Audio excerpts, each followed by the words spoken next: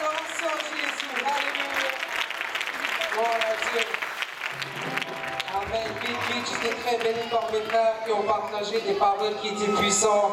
Ça parlait de l'amour, ça parlait de l'importance de l'homme de Dieu dans ta vie. Et vraiment qu'on a besoin de l'amour dans cette génération. Puis on doit donner un espace au prophète, à l'homme de Dieu. C'est comme ça on aura la bénédiction, puis la direction dans l'esprit. Puis ouvrons nos Bibles dans le livre de Luc chapitre 22. Luc chapitre 22, je vais lire le verset 31 à 32. Ça dit, le Seigneur dit, Simon, Simon, Satan vous a réclamé pour vous cribler comme le froment. Mais j'ai prié pour toi, afin que ta foi ne défaille point. Et toi, quand tu seras converti, affermis tes frères. Et vous pouvez vous asseoir. Et le titre ce soir, c'est Le miracle d'un témoignage. Amen. Le miracle d'un témoignage. Combien de personnes ici ce soir ont un témoignage de comment Jésus t'a transformé, comment Jésus t'a guéri, comment Jésus t'a restauré. Ce soir, vite, en cinq minutes, je de vous conter mon témoignage. Mais avant de dire cela, sachez que Jésus avait averti Pierre deux fois. Il a dit, Simon, Simon, c'est un avertissement par cause le diable voulait lui cribler comme le poumon. Tu sais, le diable, il cherche toujours à attaquer l'enfant de Dieu. Le diable, il cherche toujours de voler ta foi et que tu abandonnes ta marche avec l'éternel. C'est pour ça la Bible nous dit en 1 Pierre chapitre 8 que Satan rôde comme un vous réjouissant, cherchant qui va dévorer. En Jean chapitre 10, verset 10, le voleur ne vient que pour érober, dégorger et détruire. Mais moi, Jésus, je suis venu, que les brebis et la vie et qu'elles soient en abondance. Et même si le diable avait un plan pour attaquer Pierre, même si le diable a un plan pour vous attaquer ce soir, Jésus a prié pour vous ce soir. Jésus a prié que la voix de Pierre n'allait pas lui défaire. Jésus a prié pour notre foi qui allait rester solide. Et après ça, Jésus lui a dit qu'on sera converti et restauré dans ma présence fortifie tes frères. Et ça, c'est le miracle, le témoignage.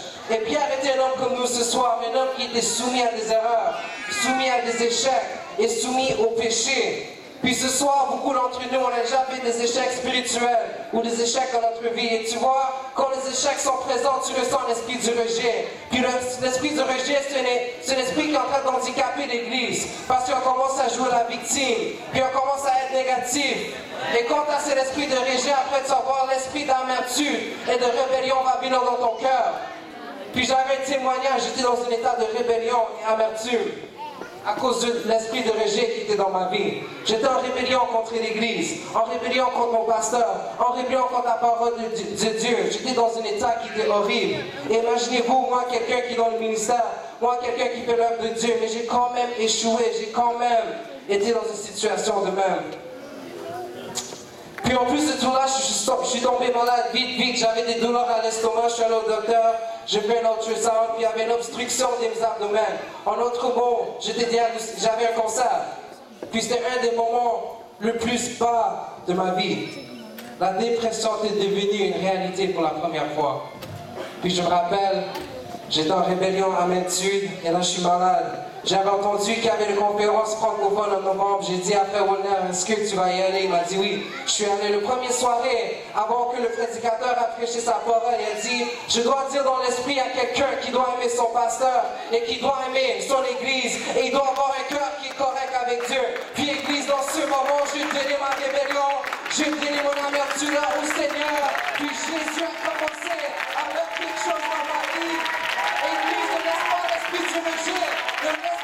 de la et de de paralyser.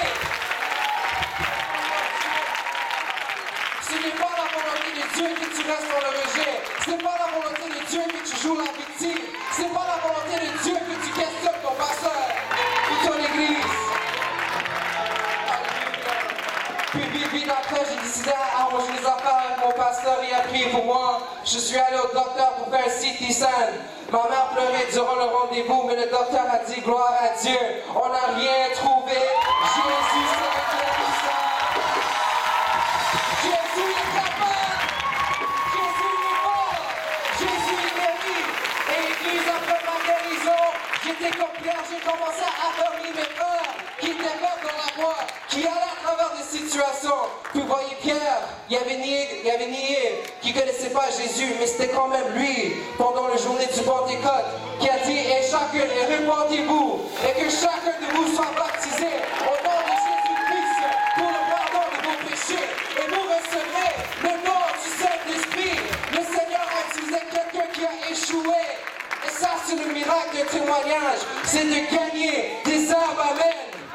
Le diable, il veut que tu caches ton témoignage, mais il faut que tu le partages. Je tu n'es pas parfait. Doit être transparent. C'est à propos de Jésus. Tout la gloire à Jésus. Toute l'adoration à Jésus. Amen. Tu dois donner l'espace au prophète dans ta vie, comme les prédicateurs ont dit. Tu n'auras pas l'autorité spirituelle si tu n'es pas soumis dans l'esprit.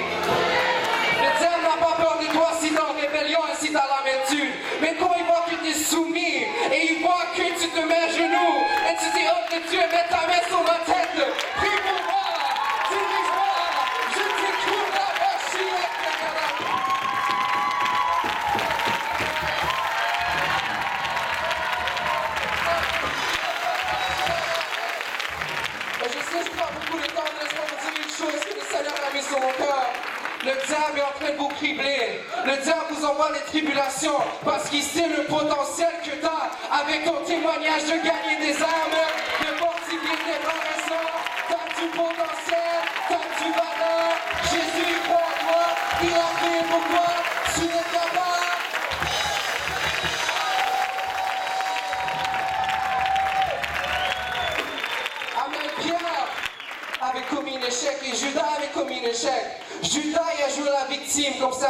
on joue la victime. Puis après, on va prendre notre situation, notre problème, puis on va commettre un suicide spirituel. Mais pourquoi faire ça? L'éternel, il est bon. L'éternel, il est fidèle. L'éternel, il peut nous pardonner. La grâce est plus grande. La miséricorde est plus grande. Son amour est plus grand. Et pour la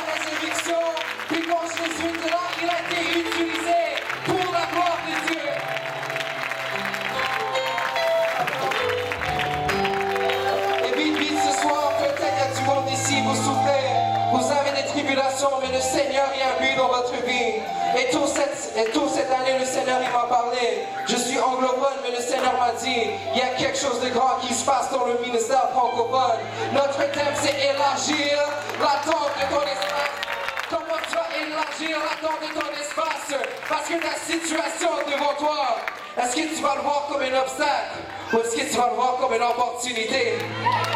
Est-ce que tu vas le voir comme un obstacle? Ou comme une opportunité? Le Seigneur nous amène à un autre niveau. Comment on va aller à l'autre niveau? C'est qu'on change nos prières. Seigneur, enlève pas l'obstacle, mais utilise cet obstacle pour fortifier mon foi, pour me faire grandir à l'autre niveau. Et après, je vais élargir l'espace de ma foi, l'espace de mon témoignage, l'espace de l'évangile? Tu sais que Jésus est guérisseur, Jésus pardonne, Jésus a la grâce, Jésus a le miséricorde. J'ai quelqu'un haut, mais je suis quelqu'un qui a trouvé la grâce. Et ça me fait la peine dans, dans mon cœur quand je vois des jeunes et des gens à l'église qui se condamnent et qui, et et encouragent l'esprit du rejet. Mais savez-vous que Jésus est le plus grand? Jésus est le plus fort. Tu peux te libérer. Tu peux t'en sortir. Ce soir est ton soirée. Le ministère francophone m'a béni ma vie.